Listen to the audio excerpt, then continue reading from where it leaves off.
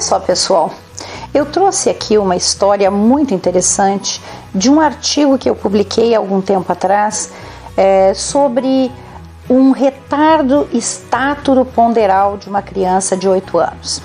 O que acontece é que na hora que as crianças têm dificuldade de crescimento, as pessoas sempre pensam no hormônio do crescimento.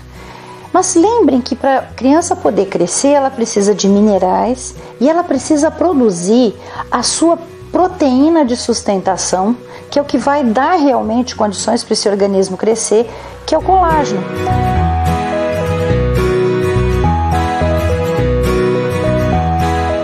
Usei apenas as essências vibracionais florais com tecnologia Quantum Health para estimular a formação do hormônio de crescimento, para estimular a absorção dos seus minerais e usei como produto principal de reposição nutricional o colágeno. Na verdade, nesse novo conceito, que é o conceito do procolágeno, o qual eu realmente estudei muito e praticamente me uh, até me, vamos dizer assim, me especializei nisso.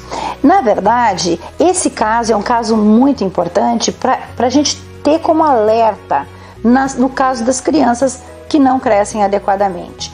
Quando você fornece para a criança a reposição do colágeno nesta forma, neste conceito do procolágeno, o que acontece é que a criança vai acabar, o organismo da criança vai acabar tendo condições para osso, articulação, músculo, tendão, vai ter a matéria-prima para isto. Se você acrescentar uma informação de essência vibracional, melhor ainda. Por um ano não havia crescido absolutamente nem um milímetro, já com oito anos estava com 114 centímetros. Começou o tratamento, nos primeiros quatro meses, essa criança cresceu 3 centímetros.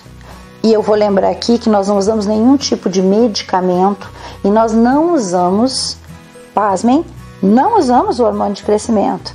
Mas o fato de você dar a nutrição adequada e dar a, o estímulo adequado fez com que a criança crescesse.